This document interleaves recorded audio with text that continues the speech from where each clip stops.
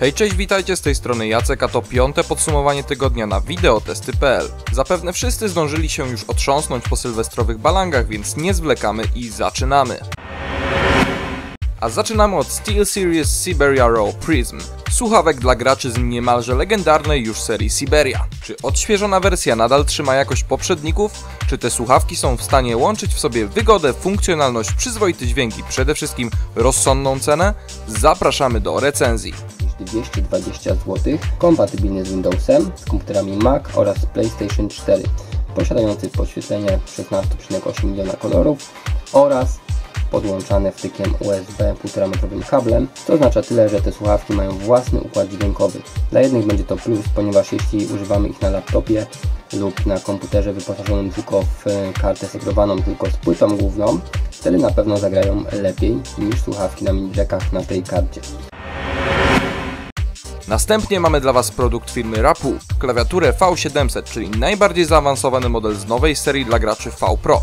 Czy wyposażona w przełączniki mechaniczne klawiatura gamingowa wypada pomyślnie w testach? Odpowiedź odnajdziecie w recenzji Marcina. Najpierw jednak pokażę Wam kabel, który ma około 2 metrów. Jest naprawdę elastyczny, zakończony pozłacanym wtykiem USB. Mamy też taki pasek do spięcia do domiaru kabla. Jest fajne właśnie to, że ten kabel jest elastyczny i nam nie przeszkadza w uporządkowaniu w porównaniu z innymi gdzie te kable bywają naprawdę bardzo, bardzo sztywne. Klawiatura też ma niezłą przyczepność do biurka.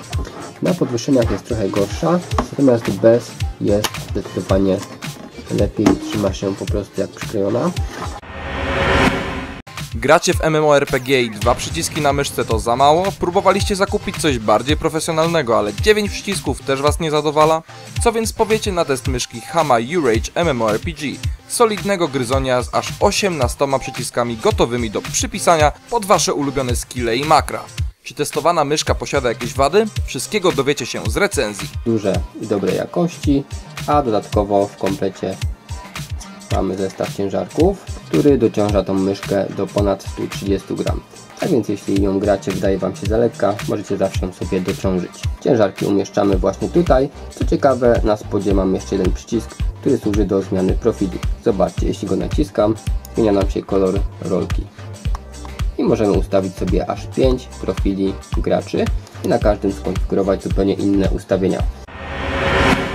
Po mocarnej myszce kombajnie do gamingu czas na sprzęt bardziej ergonomiczny i uniwersalny.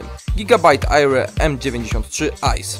Bezprzewodowa myszka wyposażona jest w zaawansowany sensor laserowy, który ponoć nie boi się żadnej powierzchni, nawet szkła czy błyszczących materiałów. Jakie wrażenia mamy po testach? Przekonajcie się sami.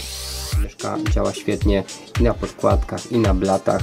Także na przykład na białym blacie nie ma żadnego problemu. Działa też na takich troszeczkę dziwnych powierzchniach jak y, ubranie czy dywan na przykład. Natomiast producent chwali się, że także na szklanych stołach, na jakichś y, odblaskowych powierzchniach też sobie radzi.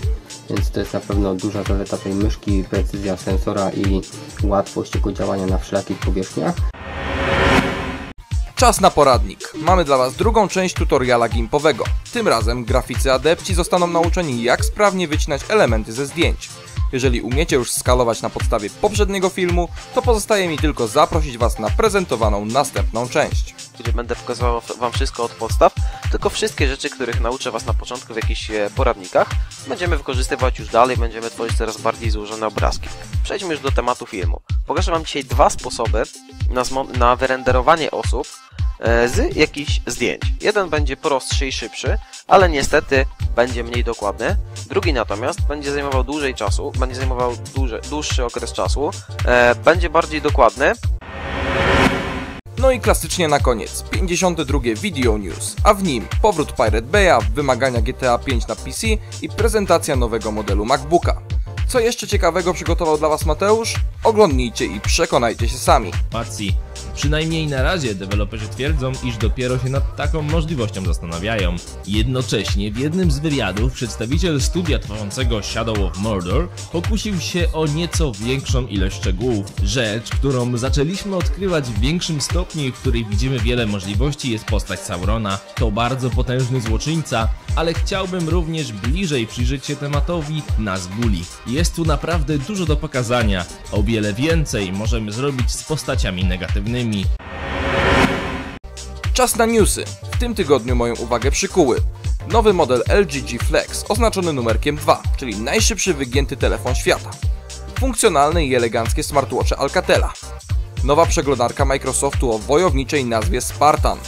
Podsumowanie gamingowych eventów 2014 roku przygotowane przez Techland. Sentry Eye Tracker, czyli urządzenie do śledzenia ruchu naszych gałek ocznych podczas korzystania z komputera. Oraz projekty portfeli i odzieży antyhakerskiej. Od teraz Twoje karty RFID i zbliżeniowe będą bezpieczne.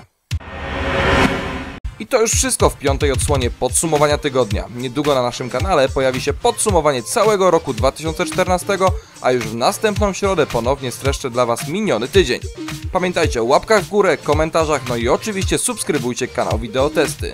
Tymczasem trzymajcie się ciepło i do następnego.